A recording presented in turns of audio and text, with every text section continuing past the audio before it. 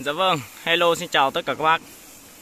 Em Thế xin uh, gửi lời ờ, cảm ơn đến uh, tất cả anh chị em với uh, các bác đã tin tưởng đội thợ bên em Giao cho em thi công những cái bộ khung căn nhà sàn Có thể thực hiện ưng ý nhất cho mọi người và đẹp nhất. Thì đây căn nhà thứ hai trong tháng 9 Hôm nay đã hôm nay gọi là mùng 8 âm lịch cũng đã đổ xong uh, sàn của căn nhà. Uh, bàn giao trong tháng 9 thôi nhưng mà nhà này thì uh, làm trong uh, 10 à hai mươi mấy nhờ 24 tháng 8 thì hôm nay uh, tháng 8 tháng 8 đã gọi là đổ xong cái mái uh, cái sàn bên dưới. Còn cái sàn bên trên này thôi cái sàn phòng này. Ngày mai ngày kia thì uh, đội thợ bên em sẽ thi công nốt và đổ nốt là sẽ ờ, bàn giao lại một khung nhà sàn một gian hai trái với mẫu uh, truyền đơn. Thì nhà này cũng có bếp làm trước ra ngoài khu kia rồi nên là phần bếp thì sẽ không cần phải thi công. Mà em cũng có để sắt ừ, chờ ra đấy để uh, mấy hôm đổ cái thang trượt ra ngoài đấy rồi để nó liên kỳ với bếp luôn. Thì cung mẫu nhà sàn này thì được uh, gia đình với lại đội thợ bố trí là cái gian rộng bề ngang này này là 9m6 chia đều 3 gian.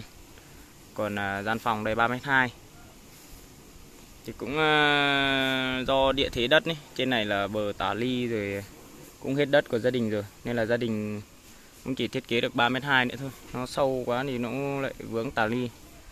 Rồi ra đằng trước kia cũng là mảng đất mượn nên là không à, sâu được hơn. Còn à, chứ bình thường như phòng ngủ ấy thì gian 3m2 rộng 3m2 thì cũng gọi là ok rồi, nhưng mà gia đình nào mà có nhu cầu làm 3 mét rưỡi này theo cá nhân của mình với lại đội thợ hay tư vấn thì phòng rơi tầm 12 mét vuông đổ lên 11 đến 12 mét vuông thì lúc đấy nhìn nó thoáng hơn. Lại để ờ, đồ đạc như tủ quần áo rồi giường, nó sẽ gọi là gọi là thoáng hơn với lại nó không bị bí bách.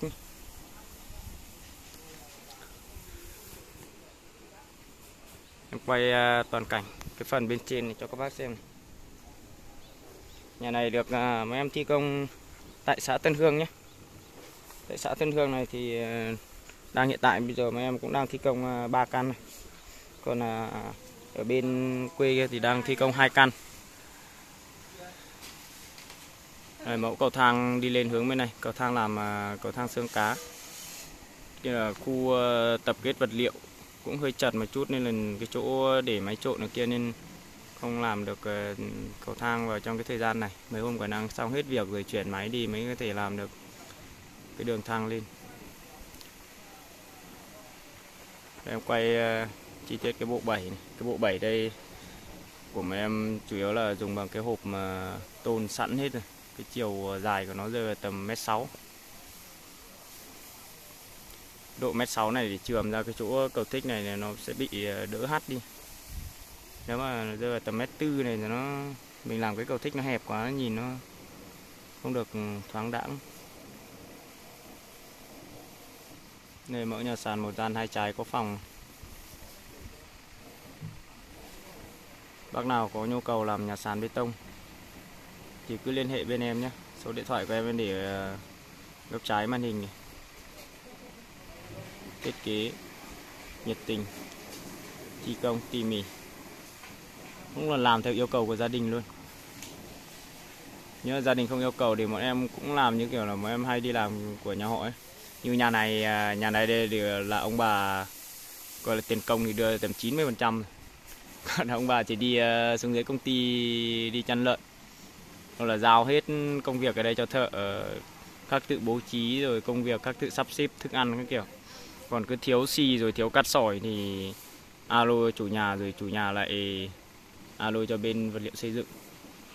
Đấy trước bảo thế thôi nhưng mà tí quay ra cũng là bên đội thợ tự gọi cho vật liệu hết, rồi ra ghi sổ đấy. Mấy hôm rồi về gia đình khác tự thanh toán vật liệu với lại bên phía công ty vật liệu sau. Đỡ phải phiền cho gia đình về lúc nào cũng phải gọi điện thoại.